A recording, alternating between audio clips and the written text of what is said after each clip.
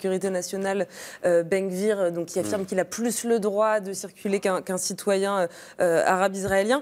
C'est pas le seul au gouvernement à avoir de, tels propos. il y a le ministre des Finances qui s'appelle Bezalel Smotrich qui déclarait il y a quelques mois dans un discours prononcé à Paris il n'y a pas de peuple palestinien, c'est une invention. Il n'y a pas de Palestiniens, juste des Arabes. Et euh, Smotrich, c'est le même qui, il y a quelques années, en 2016, euh, tweetait à propos de l'accouchement euh, de sa femme, je le cite, Il est naturel que ma femme ne veuille pas accoucher à côté d'une arabe. Les arabes sont mes ennemis. Voilà pourquoi je n'aime pas être à côté d'eux. Donc c'est des propos qui sont ouvertement racistes, qui prônent à la fois une hiérarchisation et une séparation des juifs et des arabes dans, dans un lieu comme un hôpital.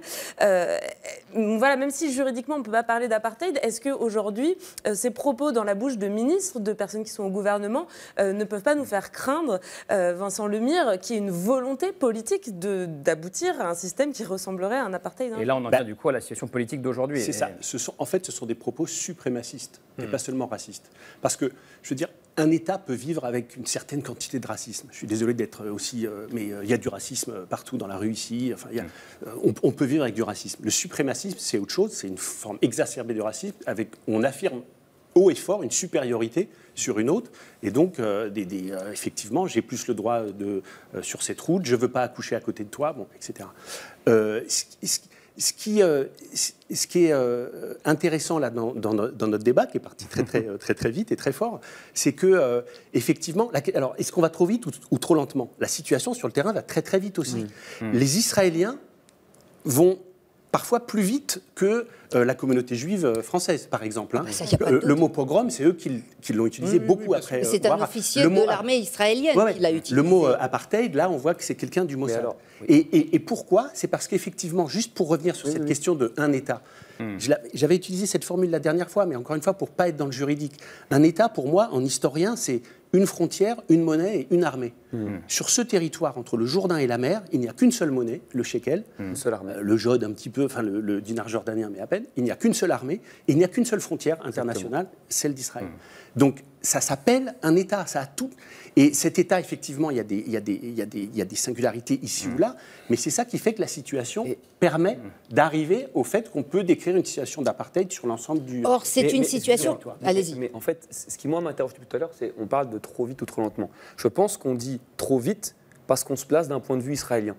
Si on se place mm. du point de vue palestinien, on va beaucoup trop lentement. Parce que les Palestiniens, ça fait depuis des décennies où ils disent mais ce qu'on vit, évidemment, ben oui, mais, justement. Donc essayons de dépasser le cadre israélo-palestinien pour se dire que sur le terrain, les victimes, les occupés, sont ceux qui depuis longtemps parlent d'apartheid. Moi, ce qui, excusez-moi, moi, ce qui m'interroge dans ce débat-là, et vraiment c'est une question que j'ai envie de poser parce qu'elle m'intrigue. Lorsque plusieurs ONG multiplient les rapports pour témoigner par exemple de crimes de guerre en Syrie de Bachar al-Assad, de camps de Ouïghours en Chine, ou de ce qui se passe en Ukraine par rapport à ce que fait l'armée russe. Hmm. Mais au bout d'un moment, ça fait preuve tellement les rapports s'accumulent. Il y a un État actuellement, Israël, où il y a des dizaines de rapports qui s'accumulent, d'ONG qui disent non mais la situation, elle ressemble, ou alors c'est un apartheid. Bethlehem en Israël, Al-Haq côté palestinien, Human Rights Watch, Amnesty International, et en France, on fait des débats, ce qui est très bien, mais où on se permet de dire que ça va peut-être trop vite. Non, moi je pense que ça va trop lentement parce que, et je finis sur ça, et ça c'est vraiment le cœur du débat, je pense, aujourd'hui, entre la Méditerranée et le Jourdain, comme vous avez dit, il y a une institution centrale, la Knesset, avec plusieurs commissions.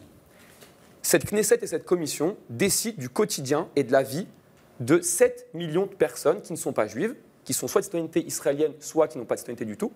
Et 5 millions d'entre elles qui habitent à Gaza ou en Cisjordanie, écoutez-moi, qui habitent à Gaza ou en Cisjordanie, doivent se soumettre à ces règles-là sans qu'elles ne puissent voter ou décider. Donc c'est des décisions qui sont prises sans que ces gens-là puissent avoir leur mot à dire. C'est une situation d'apartheid qui est reconnue.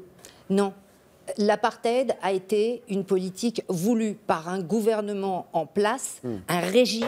Il y, a une, il, y a une, il y a une volonté, alors, qui, s'appuyait évidemment, euh, je, je, reconnais humblement, euh, grave, très grave lacune en, histoire, euh, en histoire de l'Afrique du Sud. Donc je ne me reviendrai pas sur ce terrain. Mais ce que je veux dire, c'est que cette, cette politique et c'est bien le problème auquel est confronté Israël aujourd'hui dans la hmm. crise politique, qu'il vit, à savoir que euh, on a procrastiné, on a laissé des choses pas vraiment réglées, en disant bon, oui, on, verra en marchant. Hmm. Il n'y a pas eu une politique délibérée d'oppression euh, de- de- du peuple palestinien. Il n'y a pas eu une politique délibérée de, de suprématie raciale. C'est euh, finalement une espèce de, d'agglomérat qui s'est qui s'est- Mais qui ce ce ce constitué. qu'on a laissé faire, est-ce que est-ce que c'est pas, est-ce que est-ce ce n'est pas avant tout la colonisation, justement, qui, qui revient aujourd'hui en boomerang?